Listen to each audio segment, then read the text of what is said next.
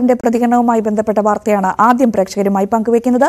ലോക്സഭാ തെരഞ്ഞെടുപ്പിൽ ഇരുപതിൽ ഇരുപതാണ് കോൺഗ്രസിന്റെ ലക്ഷ്യമെന്ന് കെ പി സി സി അധ്യക്ഷൻ കെ സുധാകരൻ. മികച്ച സ്ഥാനാർത്ഥിയെ നിർത്തി ആലപ്പുഴ പിടിച്ചെടുക്കും.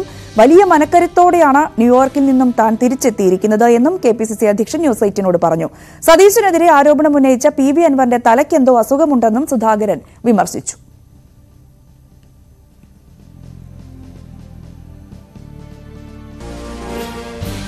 നവകേരള സദസ്സിലൂടെ സർക്കാരും കേരള യാത്രയിലൂടെ ബി ജെ പിയും ലോക്സഭാ തെരഞ്ഞെടുപ്പിന് വേണ്ടി കളമൊരുക്കുമ്പോൾ കോൺഗ്രസും ഒട്ടും പിന്നിലല്ല. കെ പി സി സി അധ്യക്ഷൻ കെ സുധാകരൻ നയിക്കുന്ന സമരാഗ്നി കാസർഗോഡ് മഞ്ചേശ്വരത്ത് ഏതാനും ദിവസങ്ങൾക്കകത്ത് തുടങ്ങുകയാണ്. ഈ അവസരത്തിൽ കെ സുധാകരൻ ന്യൂസ് എയ്റ്റീനോടൊപ്പം ചേരുന്നു. തങ്ങൾ ചികിത്സയൊക്കെ കഴിഞ്ഞ് തിരികെ എത്തിയതാണ്.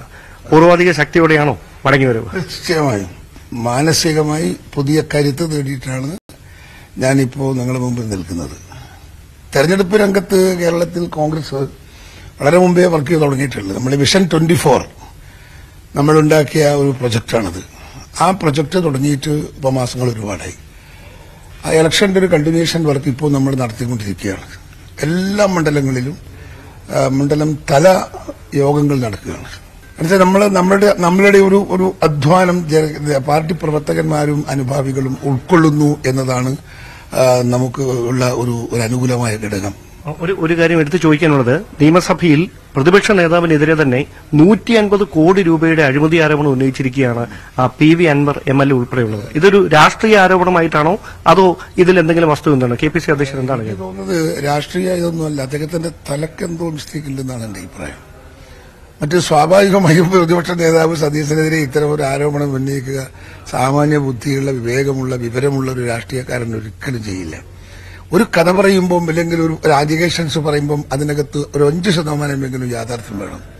ഇത് ഒരു ശതമാനം പോലും യാഥാർത്ഥ്യമില്ലാത്ത ഒരു ഒരു ഒരു കൺസെപ്റ്റ് മനസ്സിലിരുന്ന കൊണ്ടു നടന്ന കൺസെപ്റ്റാണ് അദ്ദേഹം അദ്ദേഹത്തിന്റെ പേരിൽ ചാർത്തി സംസാരിച്ചത്. ഈ സീറ്റ് നിർണയ ചർച്ചയുമായി ബന്ധപ്പെട്ട കാര്യങ്ങളിൽ കോൺഗ്രസ് ഇപ്പോൾ എത്തി നിൽക്കുന്ന ഒരു ധാരണ എപ്രകാരമാണ്? ലീഗുമായും ജോസഫ് ഗ്രൂപ്പും ഒക്കെയായി ബന്ധപ്പെട്ട്. മൂന്ന് കക്ഷികളായി ചർച്ച നടന്നു. മുസ്ലിം ലീഗ് അടക്കം അഞ്ചാം തീയതിക്ക് വേണ്ടി വിരിക്കാൻ തീരുമാനിച്ചിട്ടാണ് പിരിഞ്ഞത്. ചർച്ച മിക്കവാറും വളരെ നന്നായ രീതിയിൽ തീരുമെന്നാണ് ഞങ്ങളുടെ വിശ്വാസം. ഒന്ന് രാഷ്ട്രീയത്തിന്റെ ഗൗരവങ്ങൾ എല്ലാ ഘടകകക്ഷികൾക്കും നല്ല ബോധ്യമുണ്ട്. സമരാഗ്നി ഒമ്പാം തീയതി നമ്മൾ തുടങ്ങുകയാണ്.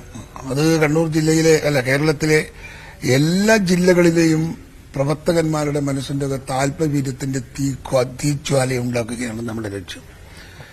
ഇടതുപക്ഷ സർക്കാരിനെതിരെയും ബി ജെ പി സർക്കാരിനെതിരെയും അവരുടെ കൊള്ളരുതായ്മകൾ മനുഷ്യ മനസ്സിൽ ശാക്തീകരിച്ചെടുക്കാനുള്ള ഒരു ഒരു ഒരു പ്രചരണമായി നമ്മൾ ഈ സമരത്തെ മാറ്റാൻ പോവുകയാണ്. വലിയ ജനക്കൂട്ടത്തിന്റെ സാന്നിധ്യം ഞങ്ങൾ പ്രതീക്ഷിക്കുന്നു. എല്ലാം വളരെ വെൽ എസ്റ്റാബ്ലിഷ്ഡായി വർക്ക് നടന്നുകൊണ്ടിരിക്കുന്നു.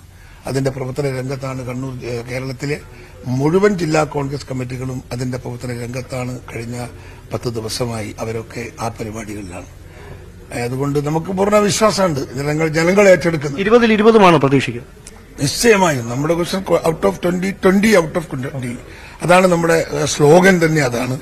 അത് അതിനുള്ള സാഹചര്യം കേരളത്തിലുണ്ട്. നമുക്ക് നൂറ് ശതമാനം നമുക്ക് പഴയ കാലത്തെ ഇതിന്റെ അകത്ത് നമുക്ക് വളരെ അനുകൂലമായ കാലാവസ്ഥയല്ലേ? അതിനേക്കാൾ നല്ല കാലാവസ്ഥയല്ലേ? അന്ന് പത്തൊൻപത് കിട്ടിയ നമുക്ക് ഇരുപത് എന്ന് പറയുന്നത് ആലപ്പുഴ ജില്ലയിൽ കൊള്ളാവുന്ന ഒരു നേതാവിനെ ഇരുത്തിയാൽ വിജയിക്കാവുന്നതേ ഉള്ളൂ എന്ന് നമുക്കറിയാം. അതുകൊണ്ട് നമ്മെ സംബന്ധിച്ച് പൂർണമായ ആത്മവിശ്വാസത്തിലാണ് ജനമനസ്സിൽ ഇവർക്കെതിരെയുള്ള വികാരത്തെ കയ്യിലെടുക്കാൻ എളുപ്പത്തിൽ സാധിക്കുന്ന ഒരു രാഷ്ട്രീയ സാഹചര്യത്തിലാണ് നമ്മൾ കടന്നു. അവസാനമായി ഒരു ഒരു കാര്യം കൂടെ ചോദിക്കുന്നു ഈ കണ്ണൂരിൽ താങ്കളല്ല മത്സരിക്കുന്നതെങ്കിൽ മറ്റ് ആർക്ക് എന്നൊരു വലിയ ചോദ്യം രാഷ്ട്രീയ കേന്ദ്രങ്ങൾ ഉയരുന്നുണ്ട്. അത് ഒറ്റയടിക്ക് അങ്ങനെ മറുപടി പറയ- മറുപടി പറയേണ്ടതല്ല. അത് ചർച്ച ചെയ്യേണ്ടുന്ന എല്ലാ വേദിയിലും ചർച്ച ചെയ്തിട്ട് മാത്രമേ ഒരു സ്ഥാനാർത്ഥിയുടെ പേരിനെ കുറിച്ച് K P C C president അഭിപ്രായം പറയാവൂ. അതുകൊണ്ട് ഞാൻ പേരെടുത്ത് പറയുന്നില്ല. പക്ഷെ നമുക്ക് സമർത്ഥന്മാരായ നേതാക്കന്മാർ നമുക്ക് മത്സരിക്കാനുണ്ട്. അവരുടെ അവരുടെ വിസ്തൃതയൊക്കെ പാർട്ടി ഹൈക്കമാൻഡിന് നമ്മൾ നൽകുന്നുണ്ട്. അവരുടെ തീരുമാനത്തിലാണ് വിധേയമായിട്ടാണ് അത്തരം തീരുമാനത്തിന്റെ അകത്ത് അവസാന കൈ തീരുമാനം കൈക്കൊള്ളുക. ഓക്കെ എന്തായാലും വളരെയധികം നന്ദി. ഈ തിരക്കിനിടയിലും നിലപാട് വ്യക്തമാക്കിയാണ് ഓക്കെ. കെ സുധാകരന്റെ പ്രതികരണമാണ് കണ്ടത്. ഇത്തവണ ലോക്സഭാ തെരഞ്ഞെടുപ്പിൽ ഇരുപതിൽ ഇരുപത് സീറ്റും യു ഡി എഫ് ജയിക്കുമെന്ന ആത്മവിശ്വാസമാണ് അദ്ദേഹം പങ്കുവച്ചത്.